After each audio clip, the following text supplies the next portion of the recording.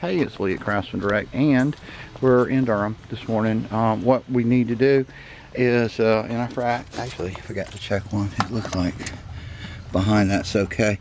But, um, um, let me back up.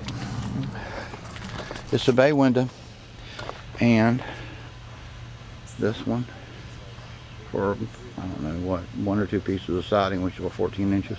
This one, both sides. And this one on the left side. And that's getting, yeah, see that's soft right there. Okay, so it's both sides here. And forgot which is the one that's good. One of them's still pretty good we can paint. That one's good.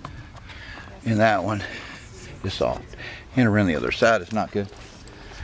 Uh, um, okay. And that's the good one.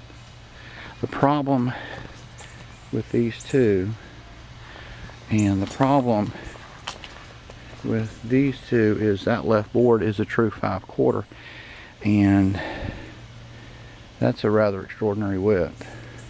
I don't want to shim behind it and you're gonna have to rip it down you got to form that corner okay